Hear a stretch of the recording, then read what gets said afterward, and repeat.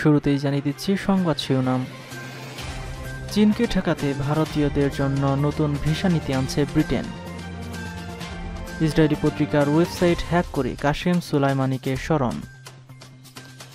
আমিরাতের অস্ত্রবাহী জাহাজ দখল করল ইয়েমেন। উনিশ বছরের মধ্যে তুরস্কের মুদ্রাস্ফীতি সর্বোচ্চ, চাপে এরদোগান। আফগানিস্তানের সঙ্গে উত্তেজনা নিয়ে যা বললেন পাক পররাষ্ট্রমন্ত্রী। ভারতে ফের শত শত মুসলিম নারী বিক্রির জন্য নিলামে। এবং সবশেষ থাকছে, হংকংয়ে সাংবাদিক হয়রানি, বন্ধ হল আরও একটি সংবাদ মাধ্যম। এতক্ষণ শুনছিলেন সংবাদ শিরোনাম, এবার চলুন বিস্তারিত জানা যাক। বিশ্ব বাণিজ্য মঞ্চে এখন চলছে চীনের আধিপত্য, আর এই আধিপত্য ঠেকাতে ভারতকে পাশে পেতে চায় ব্রিটেন। এজন্য নিজেদের ভিসা নীতিতে বদল আনছে দেশটি। নতুন এই পদক্ষেপে শুধুমাত্র ভারতীয় অভিবাসীদের জন্য কিছু নিয়ম শিথিল করে যাচ্ছে ব্রিটেন। ব্রিটেনের পররাষ্ট্রমন্ত্রী লিজ ট্রাসের বরাত দিয়ে এই তথ্য জানিয়েছে দ্য টাইমস ইউকে। প্রতিবেদনে বলা হয়েছে, ব্রিটেনের আন্তর্জাতিক বাণিজ্য মন্ত্রী অ্যান ম্যারি ট্র্যাভেলিয়ান চলতি মাসেই দিল্লি সফরে যেতে পারেন। তার এই সফরের বিষয়টি নিয়ে আলোচনা হবে। জানা গেছে, শীঘ্রই ভারত ব্রিটেন বাণিজ্য বৈঠক শুরু হওয়ার কথা। এই বৈঠকে ব্রিটেনের ভিসা নীতির অভিবাসন আইনে বদল আসতে পারে। এই আইনে বদল এনে বরিস জনসন সরকার চাইছে, নয়াদিল্লি যাতে ব্রিটেনের সঙ্গে নতুন বাণিজ্য চুক্তি সই করে। তাছাড়া নয়াদিল্লি অনেক দিন ধরেই ব্রিটেনের অভিবাসন নীতিতে কিছু পরিবর্তন চাইছে। এই পরিপ্রেক্ষিতে নতুন পদক্ষেপ নিতে যাচ্ছে ব্রিটেনের বরিস জনসন সরকার। ব্রিটেন আশা করছে এই চুক্তি বাস্তবায়িত হলে ভারতীয় ব্যবসায়ীরা আরও বেশি করে দ্বিপাক্ষিক লেনদেনের অংশ নেবেন। ব্রিটেনের আন্তর্জাতিক বাণিজ্য মন্ত্রী অ্যান মেরি ট্র্যাভেলিয়ানের দিল্লি সফর নতুন বাণিজ্য চুক্তির চূড়ান্ত হওয়ার কথা।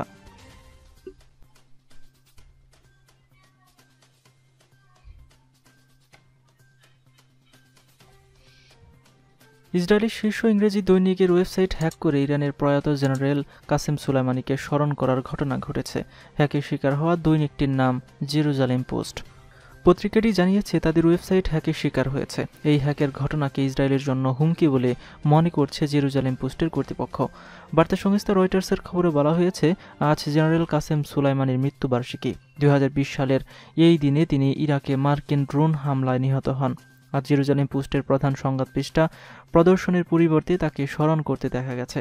হ্যাক হওয়ার পর জেরুজালেম পোস্টের ওয়েবসাইটে একটি ইলেকট্রেশন ভেসে ওঠে, যেখানে দেখা যায় একজনের মুষ্টিবদ্ধ হাতের আঙ্গুলের উপর লাল আংটি থেকে একটি বুলেট আকৃতির বস্তু বেরিয়ে যাচ্ছে। এটা স্পষ্ট যে জেনারেল কাসেম সুলাইমানি এমন একটি স্বতন্ত্র আংটি পরে থাকতেন। এই সমস্যা ধরা পড়ার পরপরই এটি সমাধানের কাজ চলছিল বলে প্রাথমিকভাবে টুইটারে জানিয়েছিল জেরুজালেম পোস্টের কর্তৃপক্ষ। এটি ইসরায়েলের প্রতি সরাসরি হুমকি উল্লেখ করে ওয়েবসাইট হ্যাকের বিষয়টি তারা যথেষ্ট সচেতন আছেন বলেও জানান। তবে দুপুর বারোটার দিকে জেরুজালেম পোস্টের ওয়েবসাইট স্বাভাবিক থাকতে দেখা গেছে। সেখানে কোনো ইলেকট্রেশন ভেসে উঠতে দেখা যায়নি। এছাড়া ইসরায়েলের অন্য কোনো পত্রিকা হ্যাকের শিকার হয়েছে বলেও শোনা যায়নি।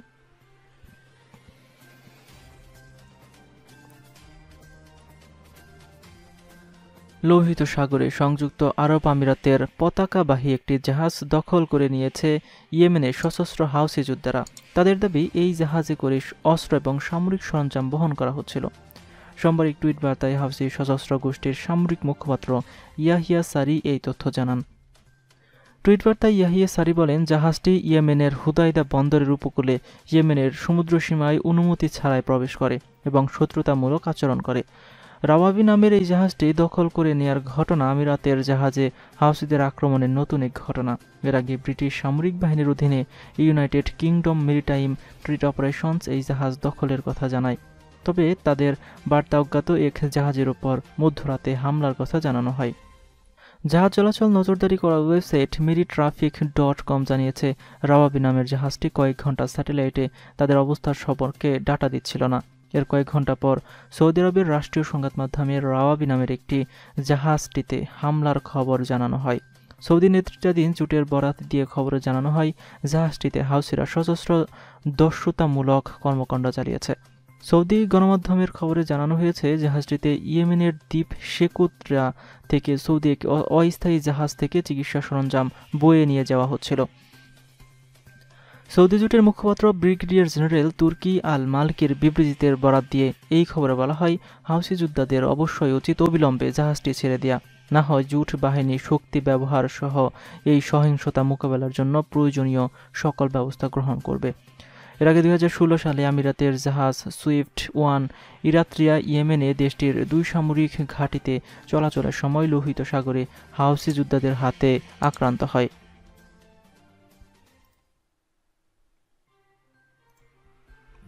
তুরস্কের মুদ্রাস্ফীতি গত ১৯ বছরের মধ্যে সর্বোচ্চ পর্যায়ে পৌঁছেছে। সোমবার প্রকাশিত তুর্কি সরকারি তথ্য অনুযায়ী দুই দুই সালের পর বার্ষিক মুদ্রাস্ফীতির হার এখন সব রেকর্ড ছাড়িয়ে গেছে।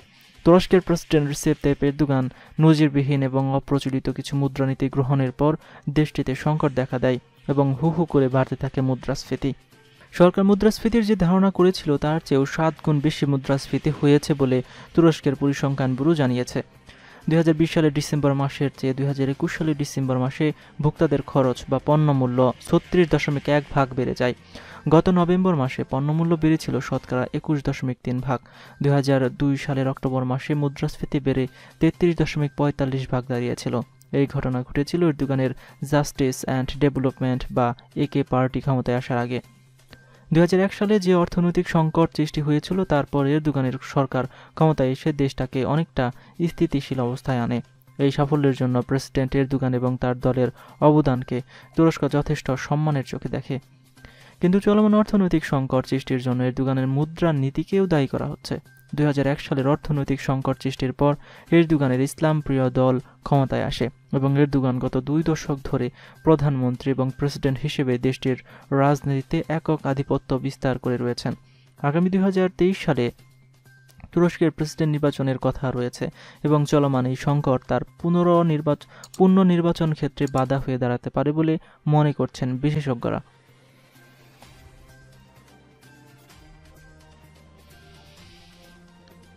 কাবুলের আপত্তি সত্ত্বেও পাকিস্তান দুই দেশের মধ্যবর্তী দুই হাজার ছয়শো কিলোমিটার সীমান্তের অধিকাংশ অংশে বেড়া তুলে দিয়েছে। পাকিস্তানি সামরিক বাহিনীর নিরাপত্তা বেড়া দেওয়ার উদ্যোগে বাধা দিয়েছে তালিবান সৈন্যরা। এ নিয়ে কথা বলেছেন পাকিস্তানের পররাষ্ট্রমন্ত্রী শাহ মোহাম্মদ কুরেশি। তিনি বলেন, দুর্বৃত্তরা পাকিস্তান আফগান সীমান্ত পরিস্থিতি কাজে লাগানোর চেষ্টা করছে। সোমবার এক সংবাদ সম্মেলনে শাহ মোহাম্মদ কুরেশি বলেন, আফগানিস্তানের সঙ্গে কূটনৈতিকভাবে সীমান্তে বেড়া দেওয়ার বিষয়টি নিষ্পত্তি করা হবে। সীমান্তে বেড়া দেওয়ার কাজ অব্যাহত রয়েছে বলেও জানান তিনি। দুই হাজার একুশ সালের পাকিস্তানের কূটনৈতিক প্রচেষ্টা তুলে ধরে পাকিস্তানের এই শীর্ষ কূটনৈতিক বলেন, শক্তিশালী অর্থনৈতিক গণ এবং বৈজ্ঞানিক কূটনৈতির মাধ্যমে পাকিস্তান ঐতিহাসিক মাইল ফলক অর্জন করেছে। প্রসঙ্গত, সম্প্রতি পাকিস্তান আফগানিস্তান সীমান্তে পাক বাহিনীকে বেশ কয়েকবার বেড়া দিয়া থেকে থামিয়ে দিয়েছে তালেবান বাহিনী।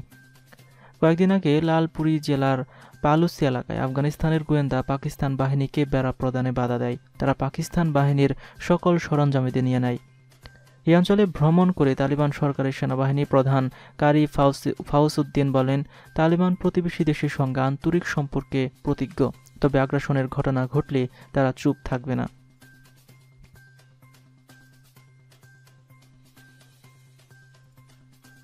ভারতে ফের শত শত মুসলিম নারী বিক্রির জন্য তোলা হয়েছে নিলামে। বিনা অনুমতিতে ছবি ব্যবহার করে একটি অ্যাপে মুসলিম নারী বিক্রির বিজ্ঞাপন দেওয়া হয়।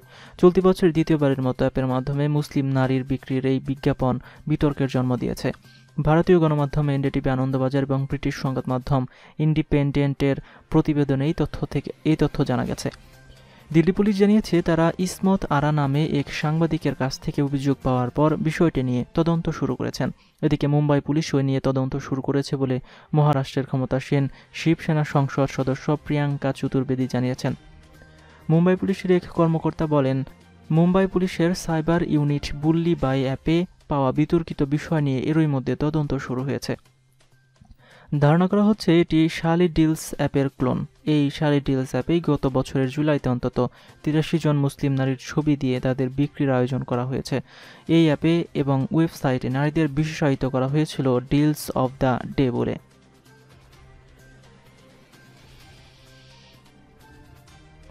হংকংয়ে অনেকদিন ধরেই সাংবাদিকদের উপর ব্যাপক ধরপাকড় চলছে। চালানো হচ্ছে তল্লাশি অভিযান। সম্প্রতি গ্রেফতার করা হয়েছে স্ট্যান্ড নিউজের সাবেক এবং বর্তমান সাত সাংবাদিককে, এমনকি বন্ধ করে দেওয়া হয়েছে সংবাদ মাধ্যমটি। এমন পরিস্থিতিতে হংকংয়ের সাংবাদিকদের মধ্যে আতঙ্ক ছড়িয়ে পড়েছে। এরই ধারাবাহিকতায় বন্ধ হলো সিটিজেন নিউজ নামের আরও একটি সংবাদ মাধ্যম। এ নিয়ে মোট তিনটি সংবাদ মাধ্যম বন্ধ হলো চীনের এই স্বায়ত্তশাসিত অঞ্চলটিতে। সোমবার সিএনএন এর একটি প্রতিবেদনে এই তথ্য জানা হয়। সাংবাদিকতার পরিস্থিতির অবনতি হওয়ার উদ্ধৃতি দিয়ে সিটিজেন নিউজ জানায়, বৃহস্পতিবার থেকে তারা তাদের কার্যক্রম বন্ধ করবে। কর্মীদের কথা চিন্তা করে কর্তৃপক্ষ এমন সিদ্ধান্ত নিয়েছে। সিটিজেন নিউজ হংকংয়ের সর্ববৃহৎ স্বাধীন সংবাদ মাধ্যম। দুই হাজার একুশ সালের জুন মাসে বন্ধ হয় অ্যাপল ডিল এবং সম্প্রতি বন্ধ হয় স্ট্যান্ড নিউজ। সিটিজেন নিউজ এক ফেসবুক পোস্টে জানায়, সবার নিরাপত্তার জন্য এমন সিদ্ধান্ত নেওয়া হয়েছে, কারণ গত দুই বছরে হংকংয়ের অনেক পরিবর্তন এসেছে। একই সঙ্গে মিডিয়ার উপর চাপও বেড়েছে, সুতরাং এমন পরিস্থিতিতে কাজ করা সম্ভব নয় বলে জানিয়ে দিয়েছে নিউজ কর্তৃপক্ষ। আজকের মতো এই পর্যন্তই ছিল। ভিডিওটি সম্পর্কে আপনাদের মতামত অবশ্যই কমেন্ট বক্সে কমেন্ট করে জানাবেন। বিশ্বের সর্বশেষ নিউজ হওয়ার আগে দেখতে আমাদের চ্যানেলটি সাবস্ক্রাইব করে পাশে থাকা বেল আইকনটিতে ক্লিক করে রাখুন। এতক্ষণ সাথে থাকার জন্য ধন্যবাদ সবাইকে।